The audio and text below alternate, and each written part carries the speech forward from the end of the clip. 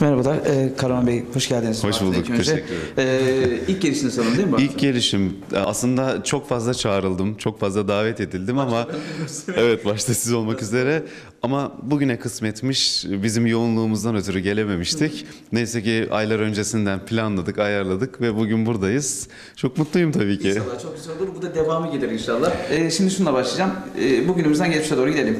Ee, kitabınızla ilgili başlayayım. Yazdığınız kitaplarda e, yaşadıklarınızı mı yazıyorsunuz? Onu sorayım ilk başta.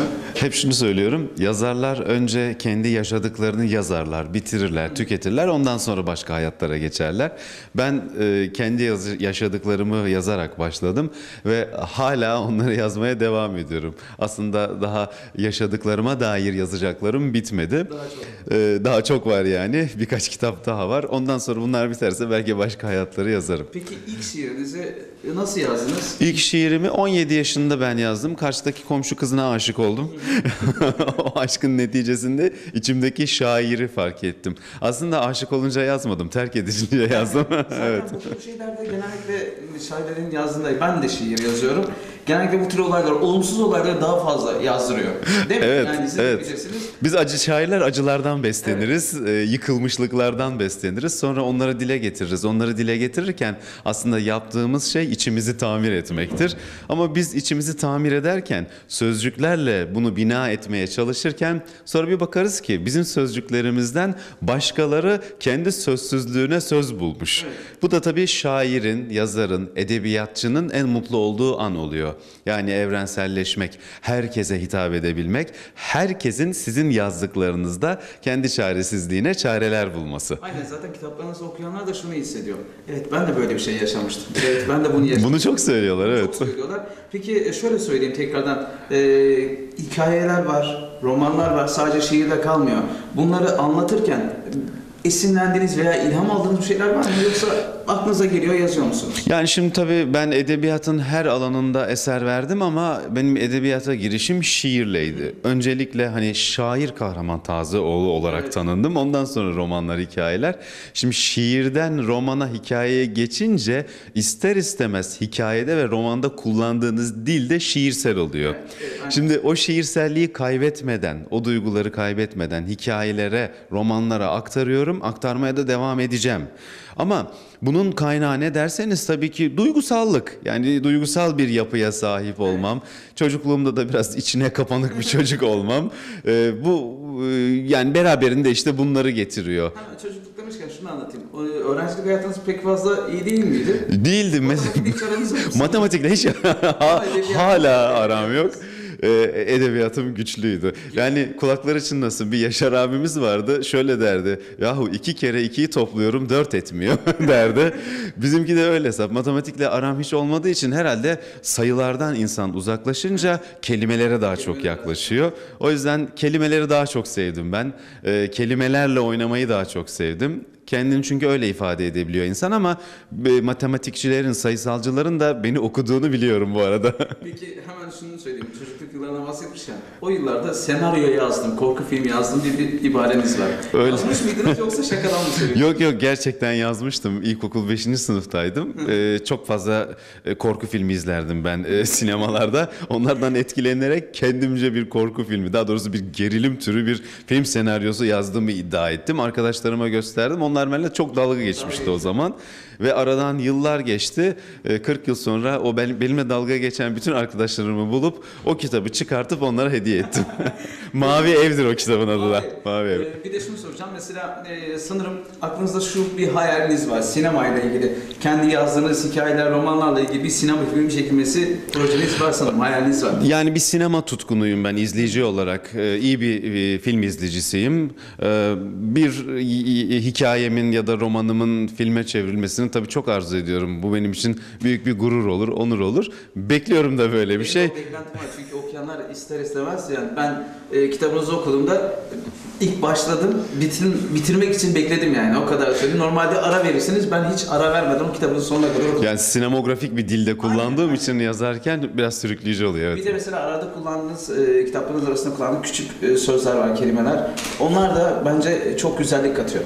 İşte onlar aforizma olarak bütün internet alemine zaten yayılıyor. evet, Kitap evet. çıkar çıkmaz aralardan onları çıkarıyorlar. internette paylaşıyorlar. Onlar internet aforizması olarak dolaşıyor bütün her yerde. Takipçiniz var şu anda. Evet Yani geçtik milyonu 2 milyonu geçtik.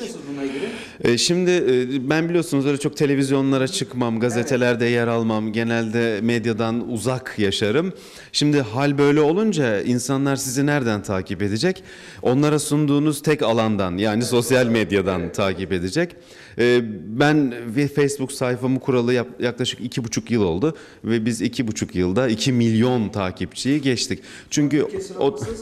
ilklerde olabilir. Evet, evet en baştayım. Ben, yani benden daha çok yazar olarak e, üye sayısına sahip e, edebiyatçı yok. Fakat ben işin burasında değilim tabii. Hani sonuçta sayı değil nitelik önemli. E, orada 2 milyon insan olabilir ama kaç kişi gerçekten sizin takipçiniz, kaç kişi gerçekten aktif ben buna bakarım. E, dediğim gibi sayılarla derdim yok. Ama orası şu işe yarıyor. Bir köprü oluyor okuyucularım ve benimle aramda. Evet ben e, onları oradan takip ediyorum. Ben onları takip ediyorum. Onlar da beni aynı yerden takip ediyor. E, Peki şunu da sorayım hemen. E, radyo programcılığı. Evet. Küçükken hayalinizdi sanırım. Evet. E, peki o nasıl gidiyor? Valla radyo Kral FM'de devam ediyor. Kral FM'de geceleri sesleniyorum insanlara 1-3 arası. Yine böyle romantik, e, gecenin ruhuna uygun şarkılar eşliğinde işte şiirler, aforizmalar, kitaplarımdan pasajlar okuyorum. 2 saati öyle dolduruyoruz. Peki bundan ileride ne hayaliniz var? Ve ne yapmak istiyorsunuz? E, a- Esasında. E, Aslında e, hayallerime büyük ölçüde kavuştum.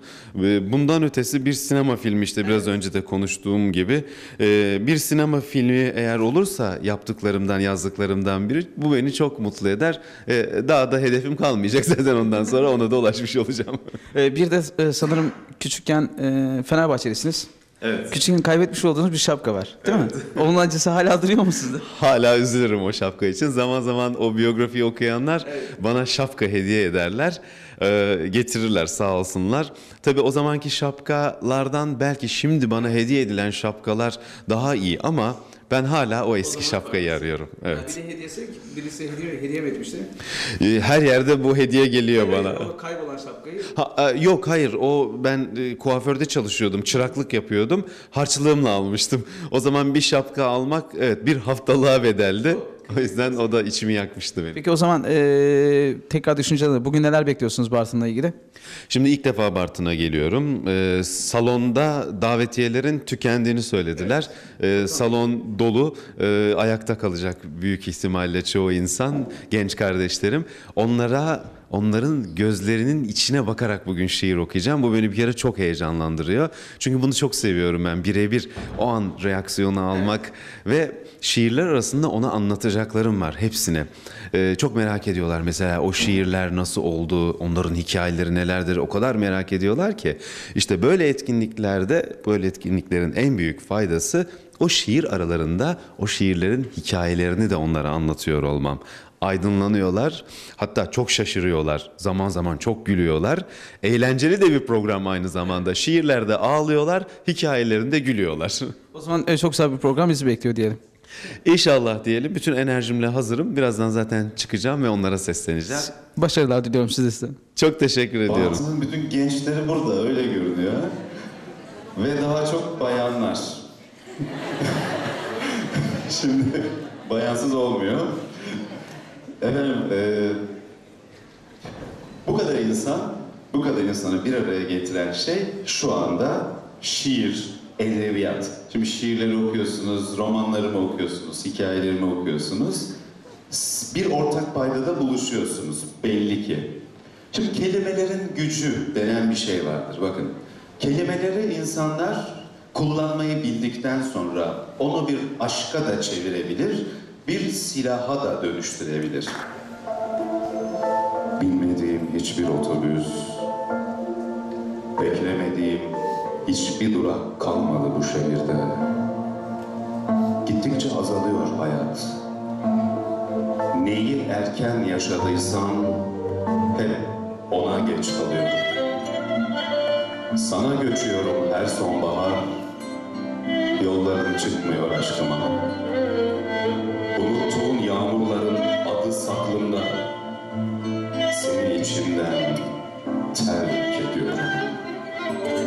Susmaktan yoruldum, kuşlar ve şarkılar, bu şehri terk edeli